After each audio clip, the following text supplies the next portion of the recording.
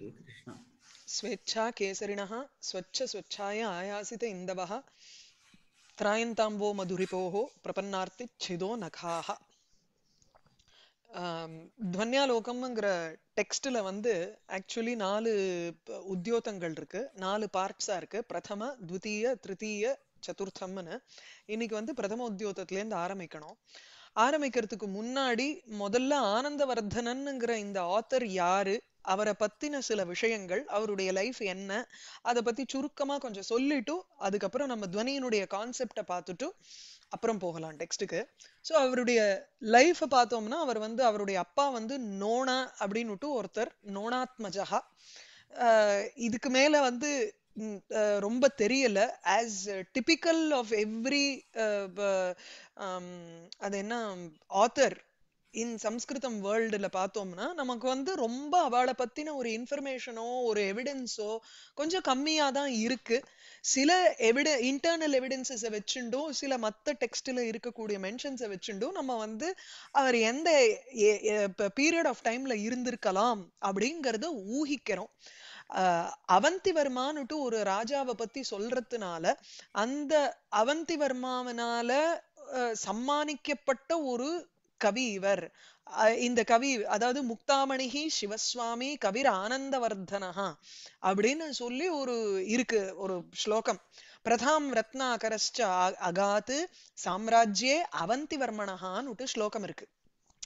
அவந்திவர்மனஹா சாம்ராஜ்யே அவந்திவர்மாங்கிற ஒரு அரசனுடைய சாம்ராஜ்யத்தில் இவருக்கு வந்து ரத்னாகரஹா ஒரு சமுத்திரம் போல இருக்கக்கூடிய இந்த கவி ரத்னாகரன் அவருக்கு வந்து ஒரு பிரதாம் அகாத்து ஒரு பிரசித்தியை பெற்றார். முக்தாமணிஹி சிவசுவாமி ஆனந்தவர்தனன் ஒரு கவி. இப்படி வந்து அவருக்கு இத்தனை கவிகள் ஒரு பேரு அதுல வந்து இருக்கு. அதனால அந்த ஆனந்தவர்தனன் வந்து அவந்திவர்மாவனுடைய அவரால் சம்மானிக்கப்பட்டவருங்கிறதுனால அவந்திவர்மாவனுடைய ரூல் டயத்துல அவர் இருந்திருக்கணும். Which means eight fifty five to eight hundred and eighty four AD அந்த ஒரு டயத்துல. ரத்னாகரகான்னா ஒரு பட்டமா? ரத்னாகரகாங்கிறது பட்டமா இருக்கலாம்.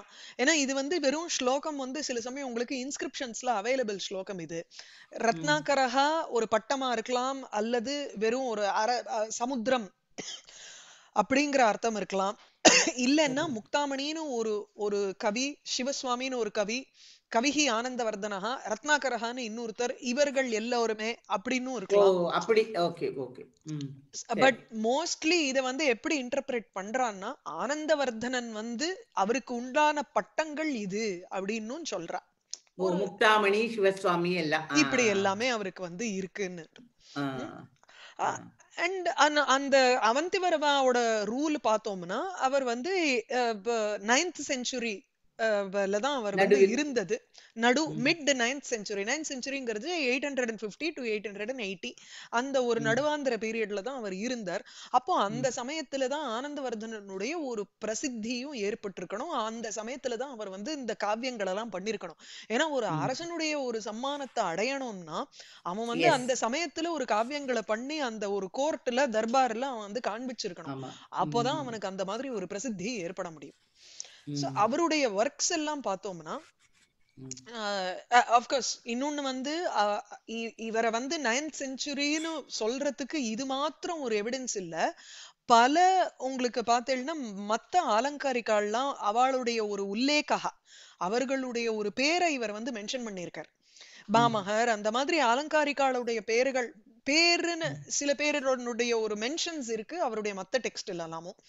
சோ. இத வச்சுண்டு நம்ம வந்து ஆர் அவளோட பேரை மென்ஷன் பண்ணாத அவளுடைய ஒரு இப்ப பரதனுடைய நாட்டிய சாஸ்திரத்துல விபாவ அனுபாவ விபிச்சாரி சம்யோகாத்து ரசனிஷ்பத்திங்கிறது இருக்கு. அதை எடுத்து இவர் சொல்லியிருக்காரு இங்க. அப்படின்னு எடுத்துட்டோம்னா he may not have mentioned Bharata. ஆனா பரதனுடைய ஒரு தியரியை எடுத்து இவர் சொல்லியிருக்காருங்கிறச்சே ஏன் அந்த ஆலங்காரிகாலுக்கு அப்புறமா தான் இருக்கணும்? அப்படிங்கிற அந்த இன்டர்னல் எவிடன்ஸையும் வச்சுண்டு நம்ம வந்து மிட் நைன்த் செஞ்சுரின்னு அவருடைய டேட்டை வந்து ஃபிக்ஸ் பண்றோம் அவருடைய ஒர்க்ஸ் பார்த்தோம்னா அர்ஜுன சரித்தம்னு ஒரு மகாகாவியம் விஷமபாண லீலான்னு ஒரு நாடகம் ஏன்னா. மமைவ யதா மமைவ விஷமபாண லீலாயாம் அப்படின்னு வரும் டெக்ஸ்ட்லயே. துவனாலோகத்திலேயே அப்போ அவர். அந்த மாதிரி ஒரு நாடகமோ காவியமோ அதை ம். தெரியறது. தத்துவாலோகம்னு ஒரு டெக்ஸ்ட் தர்மோத்தரி விருத்- விவருத்திகின்னு ஒண்ணு தேவி சதகம்னு ஒரு சித்திரகாவியம் ஒண்ணு பண்ணியிருக்கார் அதுக்கப்புறம் இவருடைய மெயின் ஆனந்தவர்தனங்கிற பேர் வந்து is very synonymous to the work that we are looking at now அதுக்கு வந்து துவன்யாலோகா சஹிருதய ஆலோகா இல்லைன்னா சஹிருதய ஹிருதய ஆலோகா காவ்யாலோகா இப்படின்னு அதுக்கு பல பேர். அவர் வந்து துவன்யாலோகம் கரிஷ்யேன்னு எழுதல. இப்ப தர்க்கசங்கிரகம் மாதிரி டெக்ஸ்ட் எல்லாம் எடுத்தோம்னா பாலானாம் சுகபோதாய கிரியத்தே தர்க்கசங்கிரகான்னுட்டு எழுதிருவர். டெக்ஸ்டோட. பேரையே. அந்த மாதிரி நம்ம ஆனந்தவர்தனன் டெக்ஸ்டினுடைய பேரு இதுதான் அப்படின்னு போடல. ஒரு வியாக்கியாத்தாவை வச்சுண்டு இது ஆலோகே அப்படிம்பா. அந்த மாதிரி ஒவ்வொருத்தர் வந்து மென்ஷன் பண்றத வச்சுண்டு தான் நம்ம வந்து இந்த டெக்ஸ்டினுடைய பேர் இதுவா இருக்கணுமோ? பாப்புலரா இந்த டெக்ஸ்டினுடைய பேரு துன்யாலோகான்னு சொல்லிடுறோம்.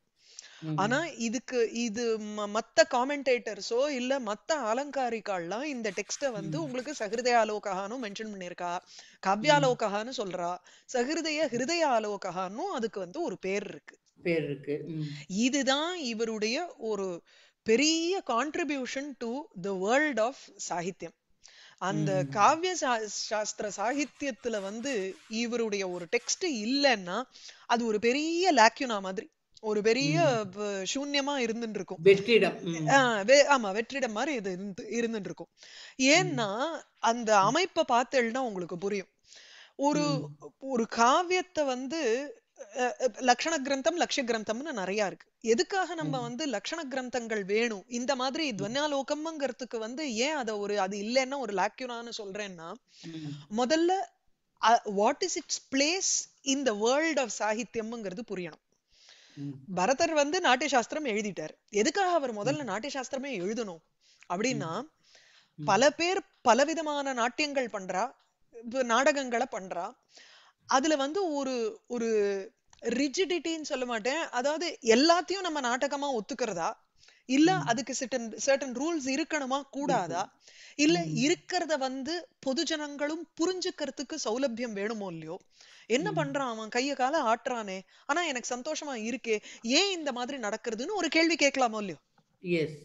ஒரு ஸ்லோகத்தை படிக்கிறோம் அம்பாளை பத்தியே படிக்கிறோம் அப்படியே கண்ணுல இருந்து தாரதாரியா வர்றது அதுக்கப்புறம் அதை பத்தி நம்ம ரிஃப்ளெக்ட் பண்றச்சு ஏன் நமக்கு வர்றது அந்த தாரதாரியா தண்ணி? அப்படின்னு யோசிப்போம்.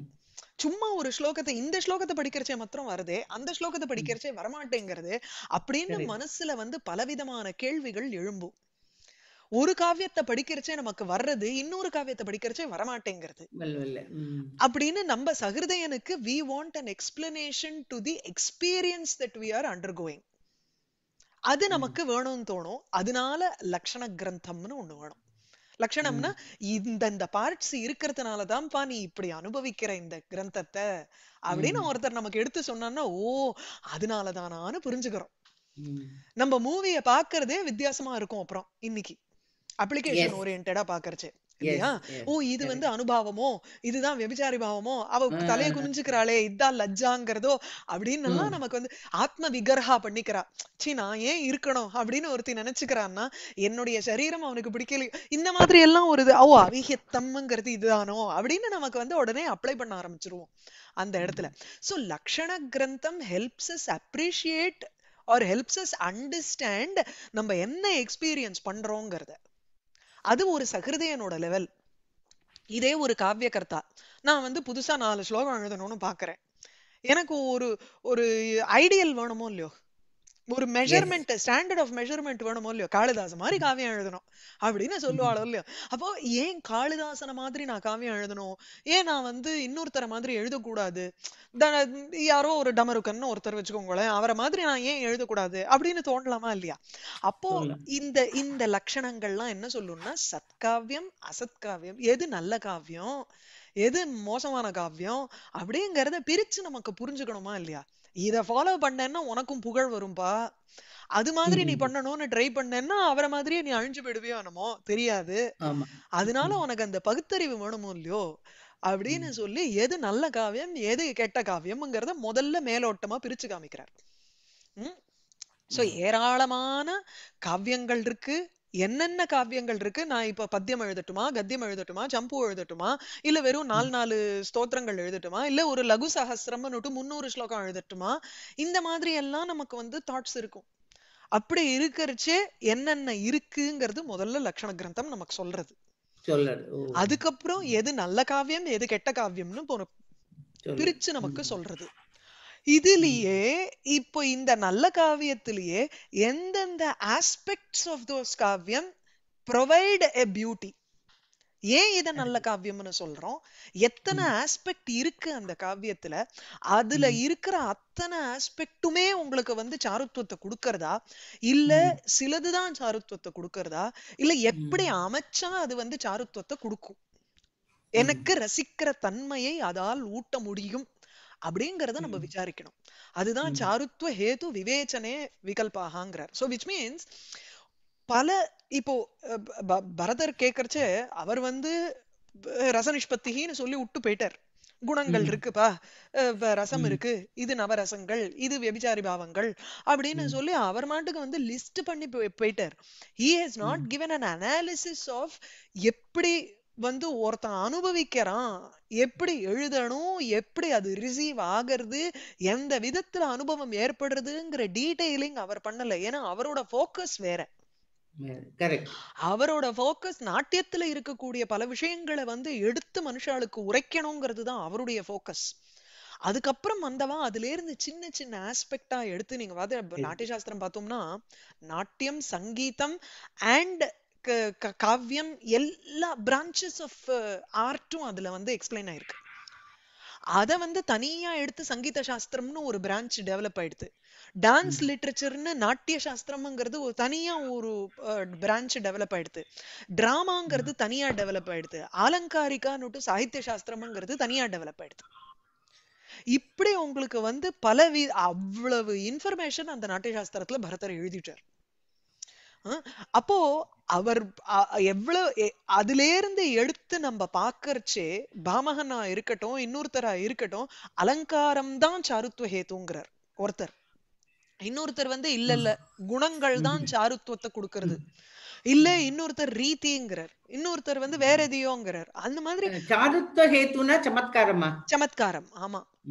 சமத்காரம் அழகை கொடுக்க கூடிய விஷயம். ஒரு காவியத்தை பார்த்து நம்ம ரசிக்கிறோம்னா ஏன் ரசிக்கிறோம்? அதுல வந்து என்ன எதனால நமக்கு வந்து அந்த ரசிக்கிற தன்மைங்கிறது அந்த காவியத்தில் இருக்கிறதுங்கிறதுக்காக கேக்குறாரு. அது வந்து பலது இருக்கிறதுனால அத ஒருங்கிணைக்க அது பலது ஸ்கேட்டர்டா ஒருத்தரும் சொல்ல ட்ரை பண்றா காவியத்தை. படிக்கணும்னா காவியத்தில இருந்து ஆஸ்வாதனம் பண்ணணும்னா இது அழகா இருக்கணும் அப்படின்னு ஒருத்தரும் சொல்லிட்டு வரா ஏன்னா. சௌந்தர்ய விஷயங்கள்ங்கிறது என்னன்னா இட் கேன் ஐதர் பி சௌந்தர்யம்ங்கிறது வெறும் வெளி அழகு வெளித்தோற்றம். ஆஸ்வாத விஷயம்ங்கிறது உள் தோற்றம் அது இன்ட்ரின்சிக். அந்த உள் விஷயங்களையும் எடுத்து சொல்லணுங்கிறது. சோ இது வரைக்கும் துவன்யாலோகக்காரனுடைய ஸ்டேட்டஸ் ஏன் இவ்வளவு வசதிங்கிறதுனா அதுக்கு முன்னாடி இருக்கிறவா வரைக்கும் எல்லாரும் என்ன சொல்லியிருக்கான்னா ஷரீரம் சப்தம் அர்த்தம். ஒரு. புருஷன் மாதிரி ஒரு காவியம்னு எடுத்துப்போம். ரெண்டுத்தையும் கம்பேர். பண்ற ஒரு மனுஷனுக்கு எப்படி ஒரு சரீரம்ங்கிறது வெளித்தோற்றம். இருக்கோ. அது போல காவியத்துக்கு வெளித்தோற்றம் என்ன? சப்தமும் இருக்கணும் அர்த்தமும் இருக்கணும். வெறும் காத்த போய் காவியம்னு சொல்ல முடியாது. வார்த்தை வேணும் அர்த்தம் வேணும். அது அர்த்தத்துடன் கூடின ஒரு வார்த்தையா இருக்கணும். அப்படி இருந்தா அத காவியம். முதல்ல அது அதையும் காவியம்னு நம்ம சொல்ல முடியாது. இது எல்லா ஆஸ்பெக்டும் இருந்தாலும் அங்க. அதுக்கப்புறம் எப்படி ஒரு மனுஷனுடைய சரீரத்துக்கு வந்து ஹாரம் கழு கழுத்துல. அலங்காரம் கையில அலங்காரம் இதெல்லாம் போடுறோமோ அதெல்லாம் அதே வெறும். சரீரத்துக்கு தான் அலங்காரம். ம- மனசுக்கோ அல்லது அந்த ஆத்மாவுக்கோ ஒரு அலங்காரம். கிடையாது. சோ இந்த வெளித்தோற்றமான அலங்காரங்கள் தான் சப்தம் அர்த்தம்ங்கிறதுக்கு உண்டான அலங்காரங்கள். யமகம் அனுப்ராசம் இவைகள்லாம் சப்தாலங்காரம். உபமா உத்பிரேக்ஷா ரூபகம் முதலியவைகள் அர்த்தாலங்காரமா. ஆயிடுறது. அதுக்கப்புறம் குணங்கள்னு இருக்கு. இத இவன் வெளியில எப்படி வேணாலும் இருந்துட்டு போட்டோம்பா. ஆனா அவன் நல்ல தைரியசாலி. உடம்பு வேணா சோப்பலாங்கியா இருக்கலாம். ஆனா அவன் ஏதோ ஒண்ணுன்னா ஒரு ஒரு இத பாத்திரத்தை தூக்குறதுக்காவது அவன் ரெடியா வந்து நிக்கறானே. முனைஞ்சு இறங்குறானே காரியத்துல. அப்படின்னு நமக்கு. தோன்றதோ இல்லையோ. அப்படின்னா அது ஒரு ஒரு தைரியம் தானே இருக்கு அவனுக்கு அப்படின்னு சொல்றான். அப்ப தைரியம் has nothing to do with the சரீரம். Ev- it it can reflect in his actions. மனசுல. இருக்கக்கூடிய அந்த தைரியம் it reflects in the actions of his body. அப்போ அதுதான் சௌரியம் முதலிய குணங்கள் அது நம்ம காவியத்துல என்ன ஒரு மாதுரியம் மாதுரியம். மாதுரியம்னா it can be the expression அர்த்தத்துல இருக்கக்கூடிய ஒரு சாஃப்ட்னஸ் மனசு அது கேட்ட உடனேயே நமக்கு மனசுல இருந்து அப்படியே ஒரு இழகிறது. சில. விஷயங்கள்ல அம்பாளை பத்தி சொல்றச்சே நமக்கு வந்து வனேவா ஹர்மியேவா சமகர நிவாதோ ஹிமகரஹாங்கிறோம் காட்டுல நீ வந்து பொழியறியோ இல்ல ஒரு பெரிய சிட்டில வந்து உன் கட்டாட்சம் விழறதோ ஒண்ணுதானேமா. உனக்கு என் பேர்ல கொஞ்சம் காமியே அப்படிங்கறச்சே. இழகிறது அது அந்த. மாதுரியம்ங்கிற அந்த குணம் இருக்கிறதுனாலதான் நம்ம மனசு இழகிறது அந்த இடத்துல. அந்த மாதிரி ஒரு குணமும் இருக்கணும் காவியத்துல. அதுக்கப்புறம் எல்லாம் இருக்கு. ஒரு ஸ்லோகம் இருக்கு. அப்புறம் ஒரு ஸ்லோகம் சரியா இல்ல. இந்த ஸ்லோகம் வந்து முன்னும் பின்னுமா இருக்கு. கைய வைக்க வேண்டிய இடத்துல காலை வச்சிருக்கோம். காலை வைக்க வேண்டிய இடத்துல கைய வச்சிருக்கோம்னா சரிப்பட்டு வராது. எல்லாமே உன்மத்த பஞ்சாசத்துன்னு சொல்ல முடியாதோ இல்லையோ. அபய தீட்சிதர் ஊமத்தங்காய. சாப்பிட்டுட்டு இது ஆமா. உன்மத்த பஞ்சாசத்துன்னு எழுதினார் அவர். ஆத்மார்ப்பண ஸ்துதின்னுட்டு. முதல்ல பாதாதி வர்ணனம் இருக்கலாம் கேச வர்ணனம் இருக்கலாம் அதுக்கப்புறம் வந்து அங்க வர்ணனங்கள் இருக்கலாம். எப்படி வேணாலும் ஆனா அதனுடைய தன்மை வேறையாச்சே. எல்லா ஸ்தோத்திரங்களும் உன்மத்த பஞ்சாசத் மாதிரி இருந்துட முடியாது. சங்கட்டனாங்கிறது வேணும். ஒரு சேர்க்கை ஒரு கோர்வை ஒரு அமைப்பு அப்போதான் அது வந்து. நம்மளால ரசிக்க ஆ சரி there is a logical sequence to thisங்கிறது நமக்கு இல்ல அம்பாள முதல்ல தலையில இருந்து ஆரம்பிச்சுட்டோம் தலையில இருந்து உடனே டகான பாதத்துக்கு போயிட்டேனா? சரிப்பட்டு வராது. அதுதான் முதல்ல இருந்து ஆரம்பிச்சு நெத்தி அப்புறம் சந்திரன் ஆரம்பிச்சு நெத்தி சோ அந்த கோர்வைங்கிறது ரொம்ப எஸ் அண்ட் இன்னொன்னு என்னன்னா ஒரு சங்கடனாங்கிறச்சே உங்களுக்கு வந்து ஒரு அமைப்புகள். சமாசங்கள். எந்த இடத்துல எந்த விதமான ஒரு சமைப்ப ச- ப- சமாசங்களை யூஸ் பண்ணலாம். இந்த சங்கடனாங்கிறத பத்தி இன்னும் விவரணமா நமக்கு வந்து இன்னும் விவரிச்சு அவர் வந்து தேர்ட் உத்தியோகத்துல சொல்ல போறார். பெருசா சொல்லுவார் அத பத்தி துவனியாலோக்காரன். இல்ல இவா எல்லா அலங்காரிகளும் என்ன பண்ணிருக்கான்னா உங்களுக்கு சப்தாலங்காரம் சொல்றா அர்த்த அலங்காரம் சொல்றா குணங்கள். சொல்றா சங்கடனா சொல்றா எல்லாத்தையும் சொல்றாளே தவிர இப்ப. ஆத்மாங்கிறது என்னங்கறத பத்தி ஒருத்தருமே சொல்லல. விட்டுட்டேன். ஒருத்தருமே அத? பத்தி சொல்லல. வாட் இஸ் தட் காவியஸ்ய அதனாலதான் வந்து துவன்யாலோகக்காரர் ஆரம்பிக்கிறச்சேயே காவியஸ்ய ஆத்மா துவனிரிதி புதைஹி எஸ் சமாம்நாத பூர்வகான்னு ஆரம்பிக்கிறார் அவருடைய ஃபர்ஸ்ட் ஸ்டேட்மெண்ட்டே அதுதான் எவனும் இது வரைக்கும் வந்து ஆத்மாவை பத்தி சொல்லல. நான் அத சொல்றதுக்கு தான்ப்பா வந்திருக்கேன் அப்படின்னு சொல்லி அவருடைய ஃபர்ஸ்ட் ஸ்டேட்மெண்ட்டே. ஆரம்பிக்கிறார். அதனாலதான் எதுக்கு அதனால பிரிய துவனி பார்த்தேன்னா ஹலோ ஆஸ் யூஷுவல் இது சாட்டை அனுப்பிச்சிருக்கோம் சரி இது சோ இதுல வந்து துவனிங்கிறது மிட் பாயிண்ட் மாதிரி எடுத்துக்கிறோம் நம்ம. துவனிங்கிற தியரிய வந்து சாகித்ய சாஸ்திரத்தினுடைய உலகத்துல அது ஒரு மிட் பாயிண்ட் மாதிரி. சோ துவனிக்கு முன்னாடி இருந்த ஸ்கூல்ஸ் துவனிக்கு அப்புறம் இருந்த இந்த அப்படின்னு அப்புறம் துவனி ஸ்கூல்ஸ் இப்படின்னு மூணா பிரிச்சுக்கணும் அத. சோ நமக்கு ப்ரீ துவனி பார்த்தோம்னா எல்லாத்துக்கும் ஆதி காரணம் நம்ம நாட்டிய சாஸ்திரம் தான். அவரு அவருக்கு ஒரு வணக்கத்தை போடாத நம்மளால. அவர் ஆரம்பிக்கணும் அடுத்தது பாமகா ரெண்டு பேர் தான். இதுக்கு மேல நம்ம வந்து அவருக்கு அடுத்ததுதான் யார பத்தியுமே நம்ம பேச முடியும். So first. நாட்டிய சாஸ்திரக்காரர் அதுக்கப்புறம் அலங்காரவாதி அலங்காரவாதிகள்ங்கிறச்சு அலங்காரம் தான் ஒரு காவியத்துக்கு அழகை கொடுக்கக்கூடியதுன்னு. சொல்லி மூணு பேர் அதுல பாமகன் காவியாலங்கார சூத்திரவர்த்தி இல்ல இது காவியாலங்காரம் அதுக்கப்புறம் உத்பட்டர் ஒரு காவியாலங்காரம் எழுதியிருக்கார் தண்டி. எழுதியிருக்கிறது காவியாதர்ஷம்னு ஒரு டெக்ஸ்ட் எழுதியிருக்கார். அதுக்கப்புறம் வந்து ஒரு. முக்கியமான இந்த இந்த அலங்காரம் எல்லாம் ஒரு அழகு கிடையாது ரீதி ரீதிங்கிறது வந்து இப்ப வைதர்பி பாஞ்சாலி கௌடி அப்படின்னுட்டு கௌடி. ஸ்டைல் ஆஃப் ரைட்டிங் அந்த. ஸ்டைல் ஆஃப் ரைட்டிங்ல தான் உங்களுக்கு வந்து ஒரு பியூட்டியே இருக்கு. அப்படின்னுட்டு ஒருத்தர் சொல்றார். அது வந்து வாமனருங்கிறவர் சொன்ன ஒரு- தியரி சோ எல்லாருமே தே ட்ரை டு எக்ஸ்பிளைன் அந்த ஆத்மா என்னங்கறது தானே இப்ப எக்ஸ்பிளைன் பண்ண ட்ரை பண்றா அலங்காரம். நன்னா இருந்துருச்சுன்னா காவியம் பிரமாதமா இருக்குங்கிறது அந்த மூணு பேர். ரீதி நன்னா இருக்கணும்பா அலங்காரம் என்ன வேணாலும் இருந்துட்டு போட்ட கடமுடா கடமுடான்னு இருந்ததுன்னா அலங்காரத்துக்கும் அதுக்கும் ஒரு ஒட்டு வரலன்னா எப்படி சரியா வரும் அதனால.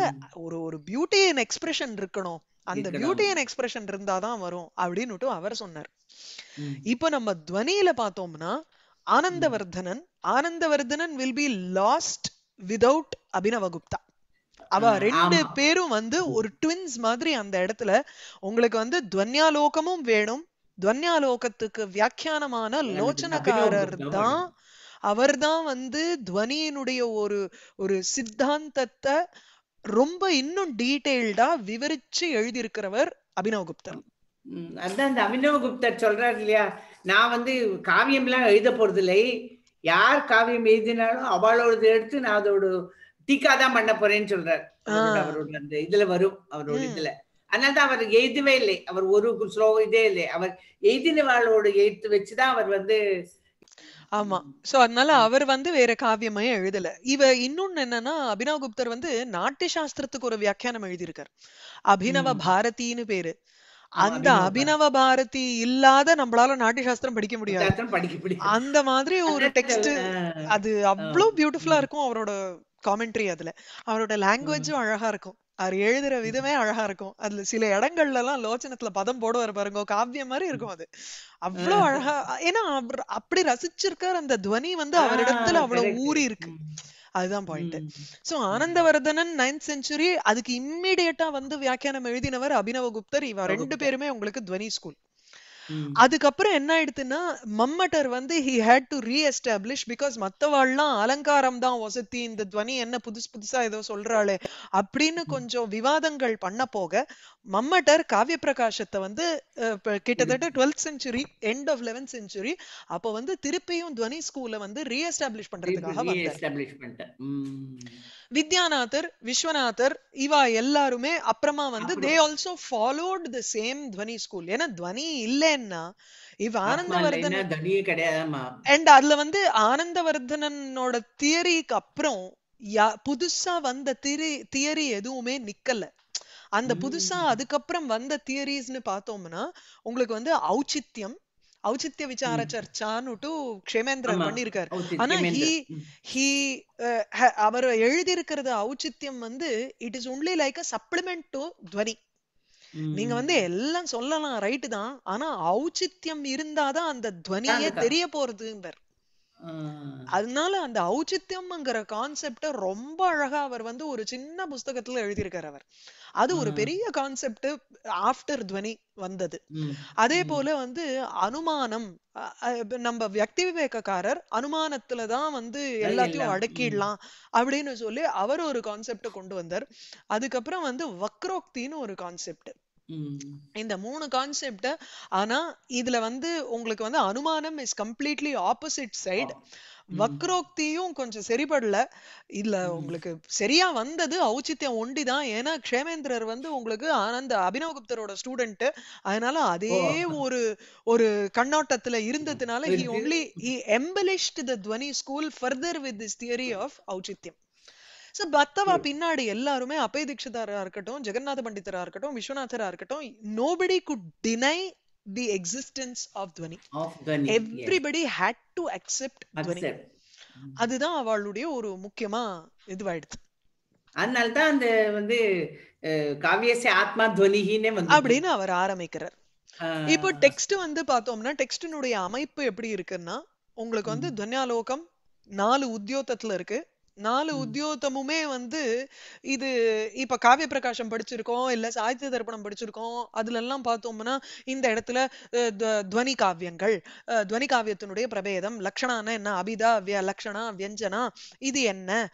அதுக்கப்புறம் துவனியினுடைய பிரபேதங்கள் குணிபூத வியங்கத்தினுடைய இதெல்லாம் கிடையாது நமக்கு துன்யாலோகத்துல. இந்த மாதிரி விவரணைகளே கிடையாது. ஒரு ஒரு பிரிச்சு சொல்றது அதெல்லாம் எதுவுமே அவருக்கு இருக்கு. ஆனா his focus is not on that இருக்கு. அதாவது அவர். சொல்றார் துவனி காவியம் ரெண்டா பிரியறது அர்த்தாந்தர சங்கிரமிதம் அத்தியந்த திரஸ்கிருதம்னு இருக்கு. அதுல வந்து உங்களுக்கு வஸ்து துவனி அலங்கார துவனி இருக்கு. இதெல்லாம் சொல்றார் கவி பிரௌடோக்தி. இருக்கே தவிர அவருடைய ஃபோக்கஸ் வந்து எப்படின்னா அந்த துவனி ஃபர்ஸ்ட் செக்ஷன் பார்த்தோம்னா முதல் செக்ஷன்ல வந்து துவனிய பத்தி என்னென்னலாம் மிஸ்கன்செப்ஷன்ஸ் இருக்கு. அது வந்து அந்த எல்லாம் வந்து தப்பான ஒரு அபாவவாதி இது வந்து துவனியே கிடையாது இது என்ன நீ. புதுசா சொல்ற அப்படிங்கிற. மாதிரி என்னென்னலாம் பூர்வபக்ஷி இருக்கோ அந்த. பூர்வபக்ஷி எல்லாம் ரெஃப்யூட் பண்ணி துவனிங்கிறது இருக்கு அப்படின்னு சொல்லி. எஸ்டாப்ளிஷ் பண்றதோட முதல் உத்தியோகம் முடிஞ்சு விடுது நிறுத்தியது ஆ. அந்த துவனியனுடைய பிரபேந்தங்கள் என்ன அப்படின்னு சொல்லி ரெண்டாவது உத்தியோகம் இந்த துவனியை நான் வந்து எப்படி எப்படியெல்லாம் ஐடென்டிஃபை பண்ண முடியும் அப்படிங்கிறதுக்கு மூணாவது உத்தியோகத்துல. இருக்கு. நீ பிரபந்தத்திலையும் பார்க்கலாம் நீ வந்து ஒரு குட்டி டெக்ஸ்ட்லயும் பார்க்கலாம் ஒரே ஒரு ஸ்லோகத்திலையும் பார்க்கலாம் அந்த சேர்க்கையிலயும் துவனி இருக்கு. என்னென்னலாம் நீ பார்ட்ஸ் சொல்றியோ ஒரு காவியத்துக்கு குணம் அலங்காரம் ரீதி வக்ரோக்தி சக்கலமான விஷயங்களுமே துவனி பரமா இருந்தாதான் உங்களுக்கு அதுக்கு. அழகு இருக்கும். அப்படிங்கறத வந்து ப்ரூவ் பண்றார் மூணாவது உத்தியோகத்துல. நாலாவதுல இத இந்த துவனி க- தெரியற மாதிரி ஆஸ்வாத விஷயக்கமா இருக்கக்கூடிய காவியங்கள் சில பேர் எழுதியிருக்கா அத வந்து அதே போல சில பேர் பிளேஜியரிசம்ங்கிறாளே அது எப்படி சோ. மத்த இப்போ பெரிய பெரிய காவியங்கள் அதாவது ராமாயணம் மகாபாரதம் இதுல எல்லாம் எப்படி ரசம் தெரியறது அதனுடைய ஆத்மாங்கிறது எப்படி சொல்றது நூறு ஸ்லோகம். இருக்கிற மேக சந்தேஷத்துல வேணா நான் வந்து விப்ரலம்ப சிருங்காரம்னு புரிஞ்சுக்கிறேன் மகாபாரதம் அவ்வளவு இருக்கே ஒரு. லட்சம். ஸ்லோகம் இருக்குன்னா அதுல இருந்தும் நான் புரிஞ்சுக்க முடியுமா அப்படின்னா. அதனுடைய அங்கிரசத்தையும் அவர் வந்து விசாரிச்சு. சொல்றார். நாலாவது உத்தியோகத்துல அண்ட். இப்போ மத்- காளிதாசனோட கா ஸ்லோகங்கள் மாதிரியே பௌபூத்தியும் ஸ்லோகங்கள் எழுதியிருக்கார் அப்ப அது. காப்பி தானே அடிச்சிருக்கார் காப்பி அடிச்சிருக்காருன்னா இதுல இருக்கிற ரசமும் அதுல இருக்கிற அந்த மாதிரி விசாரிப்பெல்லாம் சொல்றார் காப்பி எல்லாம். இல்ல காப்பிலையும் உங்களுக்கு வந்து ஒரு ஐடியாவை எடுத்துண்டு நம்ம. எப்படி அதை வந்து வேறு விதமா சொல்றோம் அப்படிங்கிறது ஒரு ஒரு இது இதே ரெண்டு சங்கதி தான் ஆனா இது ஜிஎன்பில இருந்து ஒரு சங்கதி இப்ப எம்டி ராமநாதன்ல இருந்து ஒரு சங்கதி நான் கோத்து. ஒரு சங்கதியை சொல்லாமோ இல்லையோ அப்ப. அது என்னோட சங்கதியா ஆயிடுமோ இல்லையோ. அந்த மாதிரி ஒரு கிரியேட்டிவிட்டியோட எப்படி ஒரு கவி வந்து புது காவியத்தை நிர்மாணம் பண்ணணுங்கிறதுக்கு. அது நாலாவது. இப்படி இந்த டெக்ஸ்ட் வந்து ஆக்சுவலி ஒரு தீசிஸ் ஃபார்மேட்ல அமைஞ்சிருக்கக்கூடிய ஒரு டெக்ஸ்ட் அவரோட வேலையே என்னென்னலாம் காவியத்தினுடைய பார்ட்ஸ்னு லிஸ்ட் பண்றது கிடையாது. துவனியினுடைய சித்தாந்தத்தை ஸ்தாபனம் பண்றதுதான் அவருடைய வேலை. இந்த டெக்ஸ்டினுடைய அமைப்பு எப்படி இருக்குன்னா காரிகை விருத்தி அப்படின்னு ரெண்டா இருக்கும். காரிகாங்கிறது உங்களுக்கு ஒரு கிட்டத்தட்ட நூத்தி இருபது காரிகைகள் இதுல இருக்கு. நூத்தி பதினாறுல இருந்து நூத்தி இருபத்தொன்னு ஏன்னா டிபெண்ட்ஸ் ஆன் த நம்பரிங் ஒரு ஒரு காமெண்டேட்டர் நம்பரிங் பண்ணுவா ஒரு ஒரு பப்ளிஷர் டிஃப்ரெண்ட் டிஃப்ரெண்ட் நம்பரிங் பண்ணுவா. காரிகைகள் நூத்தி இருபது காரிகா. காரிகாங்கிறது இப்ப காவி பிரகாசத்துலயோ சாகித்ய தர்ப்பணத்திலயோ பார்த்த மாதிரி உங்களுக்கு வந்து ஒரு ஒரு சந்தஸோட சூத்திரம். மாதிரி இருக்கும். ஆனா ஸ்லோகமா இருக்கும் அது. அந்த ஸ்லோக பாகமா இருக்கும். அதுக்கு. வந்து எக்ஸ்பிளனேஷன் பாகம் அவரே கொடுத்திருப்பார். அந்த. எக்ஸ்பிளனேஷன் பாகத்துக்கு வந்து விருத்தி பாகம்னு பேரு. அது வந்து கத்தியமா இருக்கும். சில சமயம் அவரே வந்து உதாகரண பத்தியங்களும் கொடுப்பார். சில சமயம் இல்ல. நிறைய சமயங்கள் அவர் உதாகரண பத்தியங்கள் கொடுப்பார். இந்த if he is trying to explain a concept and அந்த கான்செப்டுக்கு ஏத்த மாதிரி இப்போ வந்து ஆம், வாச்சியார்த்தம் வந்து விதியா இருக்கறச்சே வியங்கியார்த்தம் வந்து பிரதிஷேதமா இருக்கலாம். பிரமன்னு சொல்ற இடத்துல மா பிரமன்னு அவ வந்து தடுக்கறா. இந்த. மாதிரிக்கெல்லாம் உடனே எக்ஸாம்பிள் கொடுத்துருவார். பிரமதார்மிக விஸ்ரப்தா சசுமகோத்திய மாரித்தஸ்தேனன்னு உடனே அவர் எக்ஸாம்பிள் கொடுத்துருவார். அந்த மாதிரி உதாகரண பத்தியங்களும் இருக்கு. இப்படிதான் டெக்ஸ்டினுடைய அமைப்பு. அதுக்கு. மேல நீங்க பாத்தீங்கன்னா ஃபர்ஸ்ட் காமெண்ட்ரி சந்திரிகான்னு ஒண்ணு. ஆனா இந்த. சந்திரிகா வந்து இன்னைக்கு இல்ல ரொம்ப. யாருக்கும் அதுக்கு வந்து ஒண்ணும் பெரிய இது இல்ல அண்ட் அது ரொம்ப யோசிக்கிறதும் இல்ல யாரும். லோச்சனம்ங்கிறது ஒண்ணு இருக்கு. அதுதான் நம்ம. அபினவ் குப்தாச்சாரியர்? ம். அதுக்கு மேல பாலப்பிரியாங்கிற ஒரு டீகா இருக்கு. பாலப்பிரியாக்கு வந்து திவ்யாஞ்சனின்னு ஒண்ணு இருக்கு. தாராவதின்னு ஒரு ஹிந்தி டீகா அதுவும் ரொம்ப நல்லா இருக்கும். ஆக்சுவலி ஹிந்தில அவர் வந்து வள வள வளன்னு எழுதியிருப்பார். ஆனா ரொம்ப. விவரிச்சு நிறைய எழுதியிருப்பார் அந்த தாராவதிங்கிற டீகாவும். அவ்வளவு தூரம் நம்ம படிக்க போறது இல்ல அங்கங்க சில போர்ஷன்ஸ் ஆஃப் லோச்சனம் டெஃபினட்டா எடுப்பேன். சில போர்ஷன்ஸ் தீதித்தின்னு ஒரு லேட்டர் வியாக்கியானம். அந்த தீதித்தி வியாக்கியானத்துல இருந்தும் நான் வந்து சிலதை எடுத்து சொல்லுவேன். அது நான் உங்களுக்கு வந்து ஸ்லைட்ல காமிச்சுடுவேன். சோ நீங்க வந்து கவலைப்பட வேண்டாம் அத பத்தி. இப்ப வந்து துவன்யாலோகத்துல வந்து துவனிங்கிற சப்தம் துவனி துவனேஹே ஆலோகः துவன்யாலோகः அத டெக்ஸ்ட் பேரு.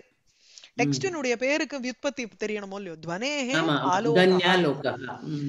ஆலோகஹனா பார்க்கிறது. ஒரு அத பத்தின விசாரிப்பு. அத பத்தி ஆலோகம்னா ஆக்சுவலி லைட்னு அர்த்தம். துவனிய பத்தி துவனி விஷயகமான விஷயங்களை ஒரு லைட் கொடுத்து காமிக்கிறேன் ஞானம். மாத்திரம் இல்ல பிரகாசிக்கிறேங்கிறார். காவியங்கள்ல இருக்கிறத எடுத்து வெளிச்சத்துக்கு கொண்டு வரேங்கிறார் அவர்.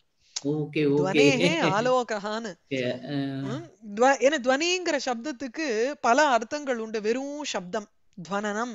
அப்படின்னா இப்ப வந்து ஒரு வார்த்தைகள் இல்லாமல் இருக்கக்கூடிய ரூபத்துக்கும் நம்ம வந்து சொல்றோம். வீணை வாசிக்கிறா மிருதங்கம். வாசிக்கிறா மிருதங்கத்தில இருந்து சப்தம் வருதுங்கிறோம் துவனி வருதுங்கிறோம். அந்த துவனிங்கிற வேர்டு வந்து அந்த மாதிரி ஒரு வாத்திய சப்தத்துக்கும் யூஸ் பண்றோம். பாடுறா ராகமா பாடுறா ஆலாபனை பண்றா அதுக்கும் நம்ம சொல்றோம். வர்ண ரூபமா இப்ப நான் பேசுறேன்னு அதுவும் ஒரு துவனி ரூபம் தான் இப்படி உங்களுக்கு இருக்கு. இன்னொன்னு துவனிங்கிறச்சே எங்க இருந்தோ ஒரு சப்தம் வர்றது. இல்லைன்னா உறக்க அவன் துவனி ரொம்ப துவனி சத்தமா இருக்குங்க அப்படிங்கிறோம். சப்தமா இருக்கு அப்படிங்கிறோம். அதுக்கும் துவனிங்கிறோம். இது காட்டிலும் ஆனந்தவர்தனன் எடுக்கக்கூடிய அர்த்தம் என்னன்னா வையாகரணனுடைய ஒரு சூத்திரமா எடுக்கிறார். வையாகரணாலாம் வந்து எப்படி துவனிங்கிற சப்தத்துக்கு என்னன்னு சொல்றான்னா அந்த மீனிங் நமக்கு வந்து து- துவன்யாலோகத்துல அஹ், இருக்க போறது இல்ல பட் ஆனந்தவர்தனனுடைய ஒரு சூத்திரம் அவர் எங்கேருந்து எடுக்கிறாரு பீஜம் என்னன்னா வையாகரணன் சொல்லக்கூடிய துவனி. அவர் வந்து ஸ்போட்டகான்னு ஒரு வார்த்தை வார்த்தையை யூஸ் பண்ணுவா. ஸ்போட்டவாதம்ங்கிறது ஒண்ணு பெருசு. ஸ்போட்டஸ்ய கிரகணே ஹேதுஹு பிராகிருதா துவனிஹி இஷ்யதே அப்படின்னா கௌஹுன்னு ஒரு வார்த்தையை சொன்ன உடனே இல்லைன்னா புஸ்தகம்னு ஒரு வார்த்தையை சொன்ன உடனே உங்க மனசுல சடார்னு ஸ்புரிக்கிறதோ இல்லையோ. அதுக்கு ஸ்போட்டகான்னு பேரு அதுக்கு துவனிகின்னு பேரு.